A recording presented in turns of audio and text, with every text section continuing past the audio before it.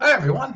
Welcome to another Clean Machine Live. I'm Geoff Palmer. I'm the CEO and founder of Clean Machine. We're an all natural, plant based fitness nutrition company. So, you know, I hear from people from time to time say, I can't eat fruit. It'll make me fat because of the high sugar content. Ah, okay. Well, let's jump into what the actual research says about fruit. But first, let me get the intros out of the way. Thank you for joining us here on Clean Machine Online, as well as Clean at Clean Machine Fit and boom, Amazon Live. So you can catch us live on Amazon at Clean Machine Fit, or you can catch us later on Clean Machine Online at YouTube. So all of our all of these will be recorded and posted on our YouTube channel so you can watch them anytime in case you don't have time right now. okay, so before we get started, the disclaimer, uh, we don't want to get in trouble and I don't want to make any claims that uh, aren't uh, legitimate. So this video is for informational purposes only and is not intended to diagnose, treat, cure, or prevent any disease. Uh, supplementation does not deal with disease states. That is not our turf. We leave that up to the practitioners, the doctors, the physicians, and all the people the, in the professional healthcare environment that can help you make those decisions that are right for you. But I do love talking about the research because the research can empower us, can help us make the best decisions. We can even bring these, uh, bring this information to our practitioners to make the best healthcare decisions for us. But we can also make good decisions on what we eat. Now that's totally up to us. So what we eat, does fruit make you fat? I laugh and I don't mean it in any uh, condescending way. I laugh because the overwhelming body of evidence, and we're going to go some over some of those research, excuse me, studies uh, on this particular one, but uh, fruit uh, acts very differently. So this is one of the things that I've always hated about macros. If those of you who are out there doing bodybuilding and counting or looking at your macros. Macros will tell you exactly the amount of carbohydrates, fats, sugars, if you're tracking that. But the three main carb uh, macros are uh, protein, fats, and carbs. What they don't tell you is that the protein, that carbs, and that fat can all behave very differently in your body based on your digestive tract, your microbiome, your absorption levels, your body's ability to process them, whether those carbs, fats, and proteins are in a whole food state. Because when they're in a whole food state, they become packaged with lots of other different phytochemicals. If you're taking plants, for an example, not so in, in animal products. But when you're consuming plant products, they're surrounded by fiber and pectin and prebiotics and polyphenols and all these wonderful antioxidants that affect our microbiome. That's how much of that is absorbed. Uh, it affects internally in our body, in our bloodstream, how that carbohydrate, how that sugar is processed in the body, how it's metabolized, what it converts to, what waste materials it produces, how much and how quickly it does that. Uh, sorry about that. Should turn the phone off before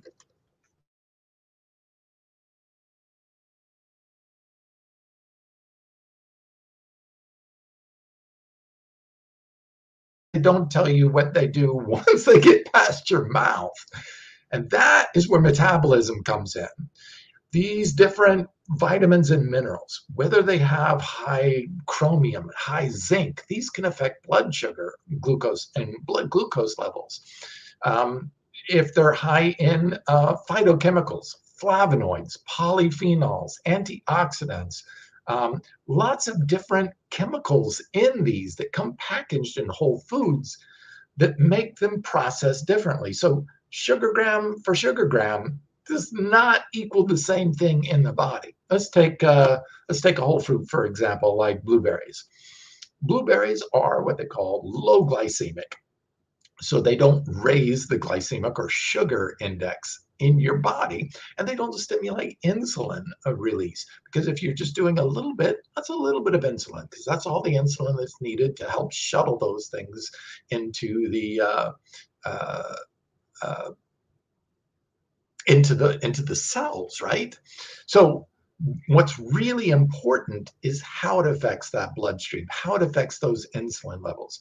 So let's dive right into this study. So this is a brand new study, just came out uh, recently, and it showed that those consuming two or more fruits, I actually averaged it out closer to three fruits based on the gram level, um, uh, about two to three servings of fruits per day had a 36% lower risk of developing type 2 diabetes. Now, this is pretty amazing because a lot of people fear away from fruits, fearing that they'll get diabetes, right? Or that they'll have blood sugar issues, when actually these fruits have been shown to lower the risk of diabetes. So, just the opposite, which is pretty amazing. Um, so let's dive into the study and I'll read the quotes exactly verbatim, right as from the quote as they are quoted. So the study is called Associations Between Fruit Intake and the Risk of Diabetes in the AusDiab cohort. Okay, so this is the exact quote. Participants with moderate total fruit intakes, that's the third quartile. They put it into four quartiles of how much fruit, basically one or less servings, two to three three or four, and then and then more servings of fruit of that. And they found those in quartile three had 36% lower odds of having diabetes after a five-year follow-up.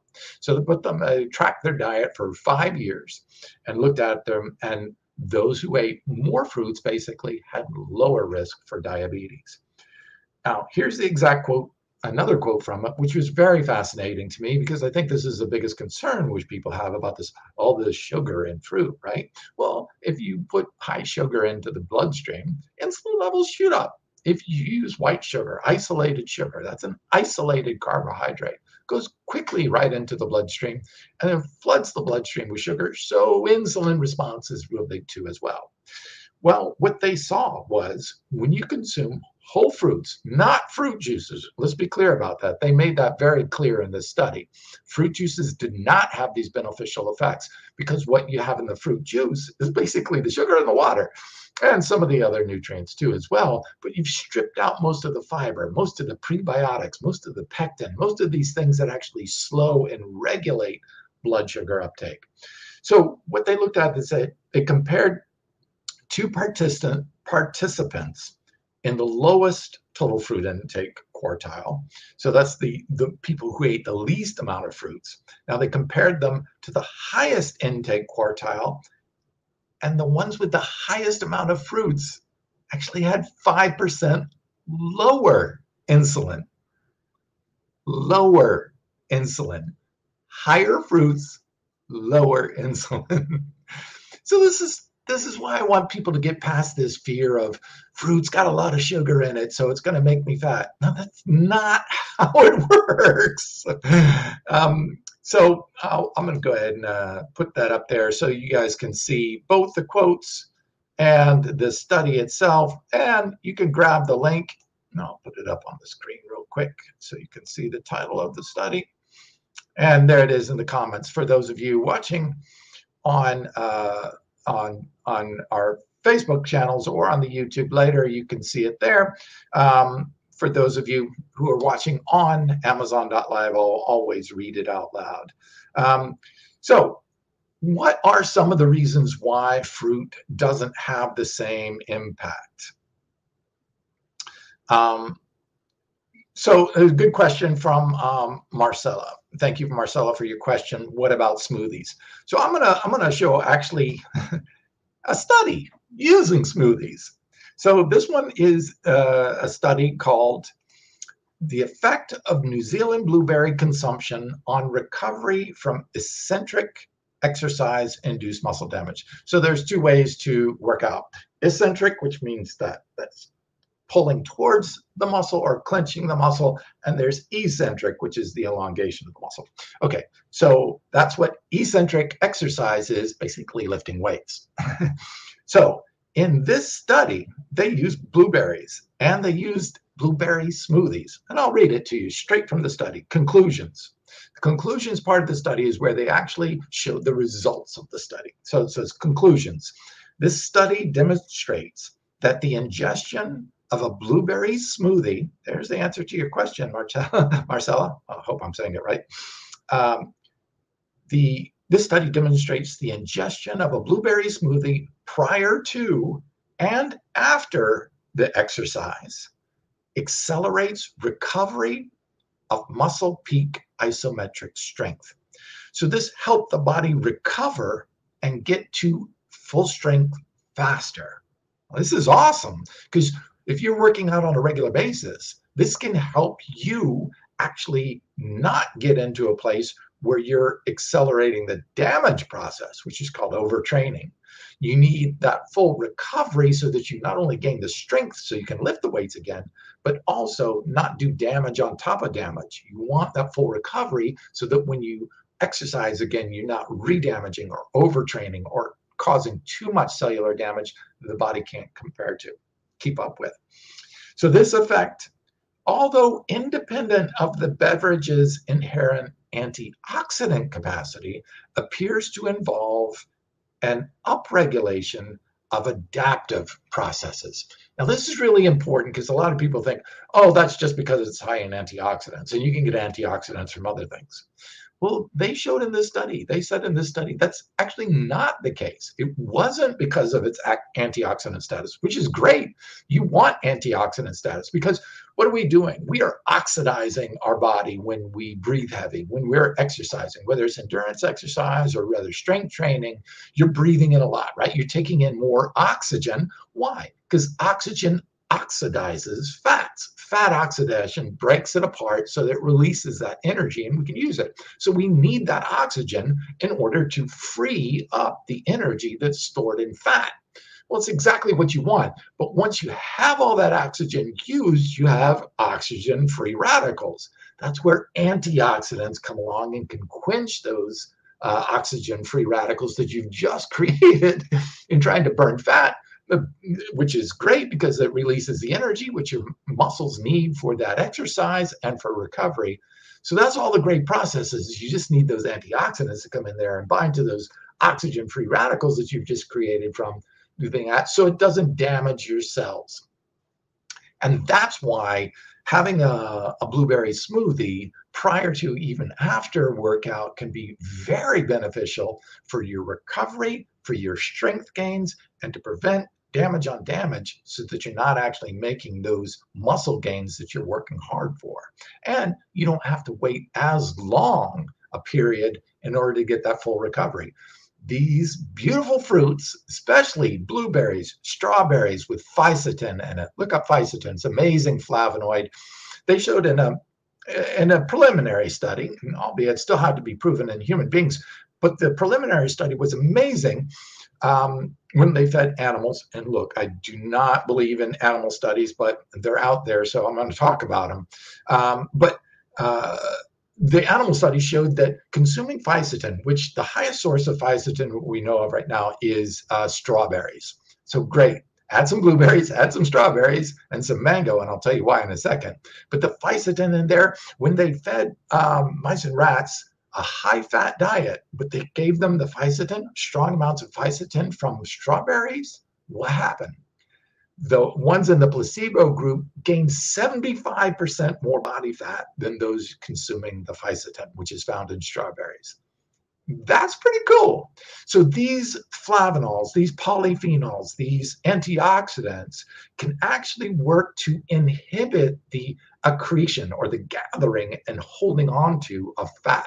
So they prevent the uptake of fat so that the body can actually utilize these calories and not store them as fat. So you're seeing some of these amazing effects, but here's another one too. Apples. Apples are rich in this incredible polyphenol called phlorizin or phlorizin or phloretin. Has a lot of different similar chemical names. Uh, they're slightly different chemicals and chemical structure, but work in a very class of, uh, of polyphenols. What's amazing about them is not only, uh, uh okay, so we're apples, right? Phloridzin is found in the skin of the apples. So this is another reason why you want to eat the whole apple. Don't peel the apple and don't juice the apple because then you're not getting hardly any of that phloridzin or phloridzin. So what you want to do is eat that whole apple with the skin. That's where most of that phloridzin is at. So what does that phloridzin do? It not only uh, slows the amount of sugar going into the to the digestive tract, into the bloodstream from the digestive tract. Not only does that, but it actually helps the body in preventing the storage of it and accelerating the utilization of those sugars.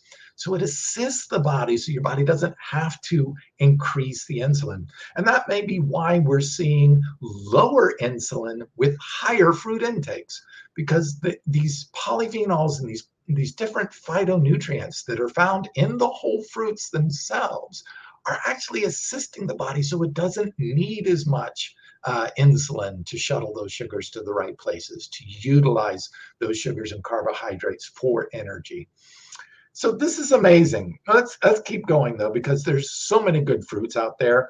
Cherries is another great one. In this study, the efficacy of tart cherry juice blend in preventing uh, symptoms of muscle damage. So once again, we're showing the consumption of tart cherries, but this is pretty, pretty amazing. This is what the results found. Most notably, strength loss. That's the loss of strength after your workouts. Strength loss averaged over four days uh, after eccentric exercise. Remember, that's weight training, using weights. After eccentric exercises was 22%. So those in the placebo group eating no fruits no no dark cherries, tart cherries, had 22% muscle loss over four days. Only 4% muscle loss after four days when you consumed tart cherries. Once again, the tart cherries are helping the body in its recovery process, preventing some damage through the antioxidants and gaining more of that, maintaining more of that strength because you're not doing as much damage to the tissues. This is amazing. These polyphenol rich, uh, different fruits are incredible in their effects. So not only are they helping with the preventing of fat storage and fat accumulation, but they're actually helping the body recover, helping you gain more back to strength. Basically, these are all the things you're looking for. So why not put these wonderful plants into a smoothie? I'll go ahead and post up the uh, the two studies on the blueberries in a smoothie. Remember, that was blueberry smoothies uh, actually used in the study. I'm going to go ahead and post those up here so people can see them. And again, if you are uh, watching on Amazon Live, don't worry about it. Uh, you can you can catch these on our website, on our um, Facebook pages, but uh, you can catch the links there. Uh, we're not uh, able to post links up on um, uh, Amazon.com or Amazon Lives. Um, but I'll always read those studies out to you out loud so you can look them up and look at it later and look up those studies so you can look at them yourself. And go ahead and get those posted in here. And so everybody can take a look at them. Two very nice studies using blueberries and cherries. And of course, I talked a little bit about the fisetin too um, from strawberries, but one of my favorites is mangoes. So mangoes contain a really cool polyphenol called mangiferin. Mangiferin is uh, amazing. And it's got all. there's a whole bunch of stuff, uh, studies out there. It's M A N G I F E R I N, mangiferin. Look it up. Human studies, mangiferin, and you're going to see some amazing things out there. This study is a really nice one, too. Um, mangiferin, this is the study title mm, for use on, on Amazon Live.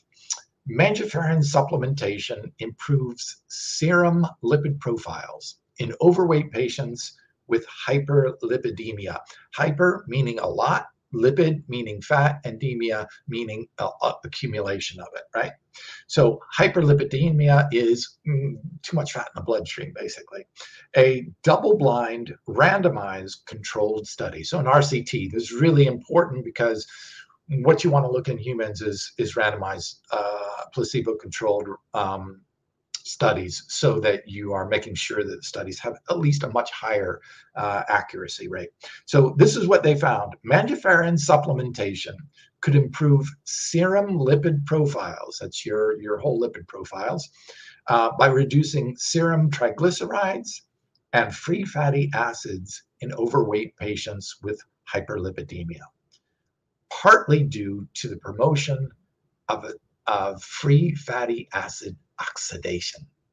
Well, this is exactly what we want. These free fatty acids and triglycerides are released from our fat stores, basically, into the bloodstream when we exercise because our body is saying, okay, release the hounds, bring us some energy. And fat is a really good source of energy. So our body will tend to want to go to blood sugar first, burn off that blood sugar, glycogen, burn off the glycogen, and then some other um, sources of energy too. Then it will go to fat. But the free fatty acids, once they get into the bloodstream, you want to make sure they're getting broken down or oxidized. Remember, that's what fat burning is, is fat oxidation. What is wood burning? Is wood oxidation. So when you say you're burning wood, you're actually saying you're oxidizing the wood. That oxygen this turns to flames, right? Well, that's why we call it fat burning because it's fat oxidation just like uh, metal oxidizing is called rust. Wood oxidizing is called fire. Fat oxidizing is called fat burning. um, so these are three different ways of oxidation that happen that break down things. Obviously, burning wood is a very radical and very rapid oxidation of the wood, whereas rust is a very slow oxidation of the metal, and then fat burning is actually very quick and rapid too inside the human body when it's done in a healthy environment. So this is really cool that we're showing that mangiferin from mangoes, remember mangoes, strawberries, blueberries, these are all low glycemic fruits. Why? Why are they low glycemic? Well, this is interesting. So not only are these polyphenols and flavonoids and all these good phytonutrients actually assisting in the weight loss process, there's a whole bunch of more mechanisms at work from eating fruits that you don't get from other sources. Let's talk about some of those. Um, pectin. So pectin is really cool. Pectin really high in blueberries. That's why they're one of the best sources of, of pectin out there. But pectin is found in a lot of different fruits and even some greens. Um, there are pecto-oligosaccharides in dark greens like clean green protein. Actually, yes, clean green protein contains Lentein, and Lentein contains these, these pectin type prebiotic fibers. This is pretty cool because you usually see these mostly in fruits, but they're also in some dark greens like Lentein.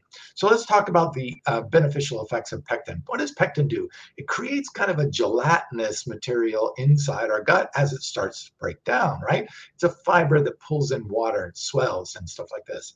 Well, this can actually slow the absorption of sugar into the bloodstream in a way as it breaks down slowly in there slowly releasing the sugars little by little over over a period of time exactly the way you want it. Remember when you isolate those sugars you've taken out the fibers the prebiotics the pectin all these things could actually help slow and slow release those are now getting sugar and it's boom, fast release. All that sugar dumped into the bloodstream all at once, spiking of insulin, causing pro-inflammatory situation. White sugar is totally pro-inflammatory, where almost all of your fruits are anti-inflammatory. They reduce the inflammation. And this inflammatory state is one of the precursor states of almost all of the major diabetes, um, obesity, um, uh, arthritis, um, arteriosclerosis. I mean, these are all inflammatory situations, and fruits are highly anti-inflammatory, especially berries. That's why I'm talking about them right now. Strawberries, fisetin, blueberries, the anthocyanins in them, um, and now mangoes with the mangiferin. I was so excited about Mangiferin and its benefits. Um, we actually put Mangiferin in our new pre-workout. It's called Zynamite. So that is the patented clinical name. So Mangiferin not only has amazing benefits for uh, weight control, glucose control, but it also has benefits for the brain. Incredible benefits matter. It increases oxygen uptake by up to 11%. This is really cool because our brain is an oxygen hoe. it, it, it has about 3 to 5% of our body's mass and uses 20% of our body's entire oxygen. So it's it it just really soaks up a ton of oxygen. So our brain needs oxygen. And if we can increase the oxygen efficiency through by consuming different plant polyphenols and antioxidants and phytonutrients, that could help us brain function more. I can't wait till you guys try, if you haven't already, uh, our N10s, clean pre-workout because it's got actually two different sources. So Mangiferin is that uh, really cool polyphenol that's doing some nice things with mango. But in the mango leaf, there's even higher amounts of Mangiferin. And in the bark, there's even higher amounts of Mangiferin. So this is pretty cool that now if you take a mango smoothie, add some of this, you're actually getting mango fruit, mango leaf, and mango bark. So you're getting a good dose of mangiferin, and wow, can you feel the effects? It is amazing. Can't wait till you to try it. I love this stuff, which is why I built a whole product around it. Um, so this you can do. This is what I do. So you take blueberries, strawberries, and mango, right? So you got three nice sources of fruit in there. Um, you've got red, with uh, strawberries. You've got blue, purple, really, with the blueberries, and you've got orange with the mango. So now you've got three different colors with three different anthocyanins. You've got three different specific beneficial effects, amazing amounts of polyphenol, high amounts of vitamin C from strawberries. One of the highest of the fruits in strawberries actually is strawberries, is vitamin C. Um, so, and you've got all these amazing fibers, prebiotic fibers, oligosaccharides, polyphenols. Now, most people don't know that, yes, most people know that fiber, uh, some sorts of fibers are uh, prebiotics, which is they feed our good bacteria and our microbiome. But we we just recently, more recently, found out was polyphenols actually get eaten by our uh, good microbes, our gram-positive, as they're called, uh, microbes in our healthy gut. So the they're also feeding on oligosaccharides, um, like fructo oligosaccharides. And just like fructose sounds like, these are in fruits mostly. Uh, fructooligosaccharides, or FOS, is actually feeding our, our gut bacteria. Some of the fibers, like the pectins, feed our good, healthy gut bacteria. The polyphenols feed our healthy, good bacteria. Now, when you eat an animal product, milk, dairy, eggs, beef, chicken, even fish, have zero fiber, zero polyphenols, zero anthocyanins, zero antioxidants that are found in fruits and vegetables. None of this is feeding your good, healthy bacteria. So you're getting less poor absorption of your nutrients. So it's not just what you put in your mouth, it's how it's actually digested down below.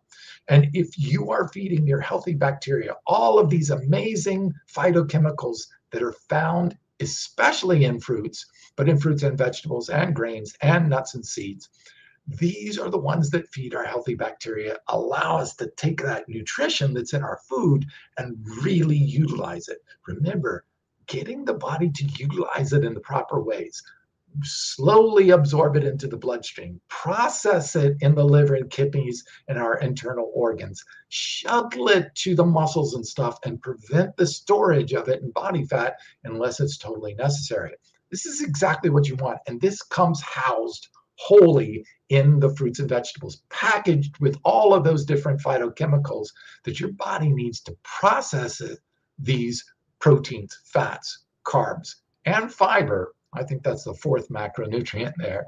Uh, but to process all of these macros in the right way for your body to utilize the maximum amount of nutrition and get those different sources of energetic and structural qualities of plant nutrients into the right places at the right time, especially for building muscle. And that's why at 58 years of age, I can be 100% drug free. I don't take even aspirin, drug free completely, disease free completely. And I can be this at 58 and be a natural bodybuilding champion, natural physique champion. Yes, this is the way you can keep healthy, keep strong, and keep yourself in great shape without the body fat. This is amazing. And these plants have all this packaged in there. Um, so uh, I get a question from Amazon Live. What can I eat to help my pancreatitis? Pancreatitis is a disease state. So, uh, as a supplement owner, we are legally not allowed to comment on disease states. That's something you're going to have to take up with your physician, and only a physician can respond to that. Um, so if you get any response from a supplement company, you shouldn't be, because that is a disease state, and we're not allowed to speak about disease states. Uh, I hope you uh, do uh, look at the benefits and uh, the health benefits of a plant-based diet because it could help you in that situation. But that's a conversation you have between your you and your practitioner. So what are the other um, things? So the prebiotics actually change the entire microbiome. But not only that, so once you eat them, they change how the sugar, the fibers, right, the pectin, all change how the sugar is absorbed in the system, but then they feed your microbiome. So the microbiome then starts making different things like short chain fatty acids, like butyrate. Well, butyrate can be absorbed into the system and then be used as an anti inflammatory helping re- reduce the inflammation that you do when you work out. So here is the second tier. So you're getting the lowered glucose absorption from the fiber and pectin, but then you're also feeding the microbiome, which then produces more cool chemicals like butyrates, short chain fatty acids that actually help reduce the inflammation from your workout. So you recover faster. Second benefit. Now, once it's into the bloodstream, it can actually have even more benefits.